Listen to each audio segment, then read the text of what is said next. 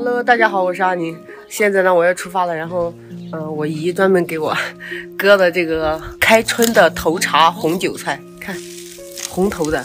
据说这个，嗯、韭菜就是开春的这个头茬的红头的。啊，我我都都说的我都绕舌了。据说是这种韭菜是口口感最好的，特别嫩，大家看出来没？给大家看一下这个车后座变成啥了。这边都是呃行李，还有路上带的一些东西。然后这是圆圆的狗粮，圆圆的狗窝。圆圆现在特别开心，特别高兴，因为她即将要出发啦，要去沙漠了。知道为什么我要呃带着圆圆去沙漠吗？因为 到时候人的力气是有限的，人背不动啊，到时候就嗯、然后给他背一个那种小驼包，到时候让他也帮我背玉我这就不好回事。呀，你的不对。菜盒子。好了好了好了好了，又一锅好了，我就是美女嘛。看上去美美的。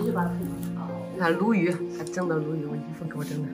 哎，人家都看，你看，你看那小兔，啊，今年十八岁。你说十八啊谈了吧？人家都三十了，那个比你才十八。我真十八岁。对。哎呀，我的饺子也熟了。一大颗啊！嗯，我的最爱韭菜饺子。你让你我给我办的确实。嗯，好，我这也衣服。拜拜。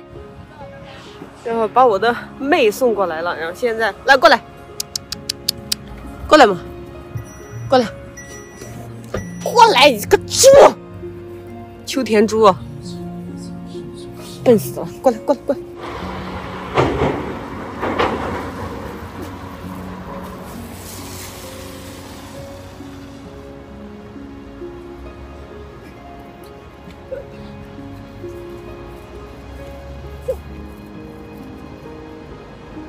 我们现在要出发了，我我感觉要出发的这之前啊，一系列琐碎的事情就耽误了很长很长的时间，我都不好意思说现在几点了。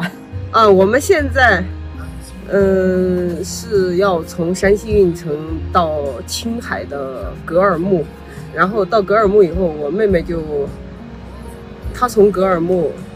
呃，青藏线的火车，然后一路到拉萨，再到林芝。我呢是从格尔木开车，呃，自驾再到新疆若羌。